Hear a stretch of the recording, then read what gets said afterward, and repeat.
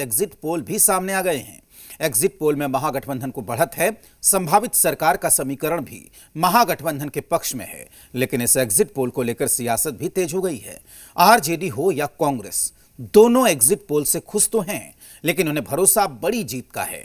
वहीं एनडीए को उम्मीद है कि जनता ने उन्हें बम्पर समर्थन दिया है, जो 10 नवंबर को नज़र आएगा।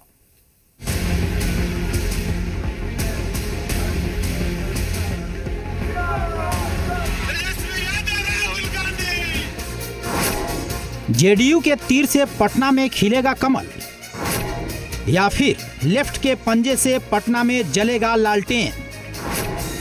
बिहार के सियासी दंगल से कौन होगा एग्जिट?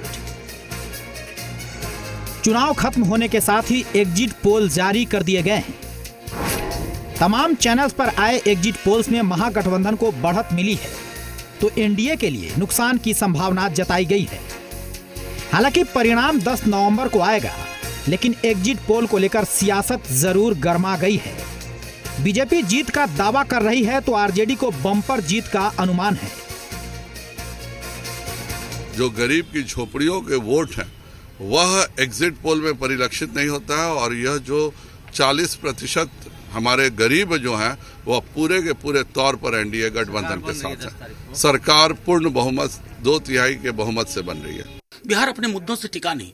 बिहार ने देश को एक दिशा दे दी है। और यकीन मानिए एग्जिट पोल कुछ भी कहें ऊपर दिखाएँ नीचे दिखाएँ। लेकिन बिहार के लोगों ने अपनी सरकार चुन ली है।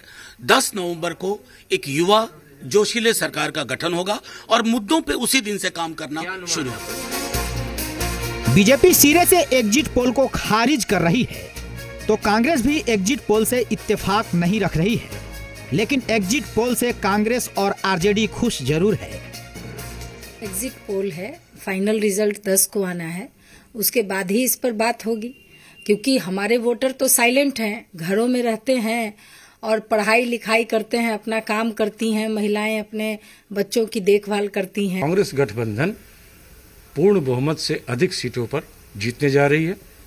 हम कंफर्टेबल मेजोरिटी से सरकार बनाएँगे और जो वादे हमने जनता से किए हैं एक एक करके उन वादों को इम्प्लीमेंट करेंगे।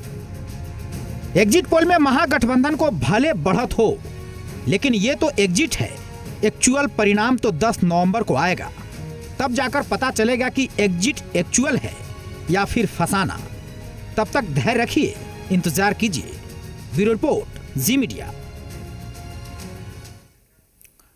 Exit poll में महागठबंधन को बढ़त मिली हुई है, लेकिन एक्चुअल परिणाम अभी बाकी है। इसे लेकर सियासी बयानबाजी का दौर जारी है। पूर्व सीएम जीतन राम मांझी ने एग्जिट पोल को सिरे से खारिज कर दिया।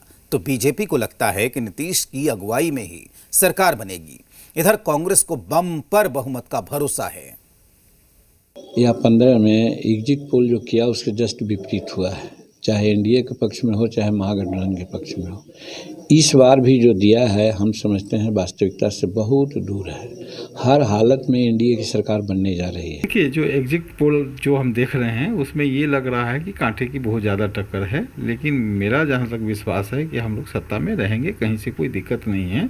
क्योंकि नीतीश जी का जनाधार भी रहा है जो समीकरण भी आप देखेंगे एनडीए का तो बहुत मज़बूत समीकरण है।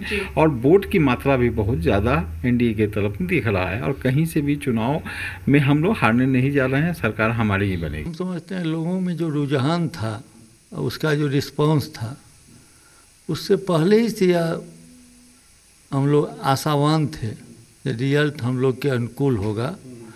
और आप लोग का जो एग्जिट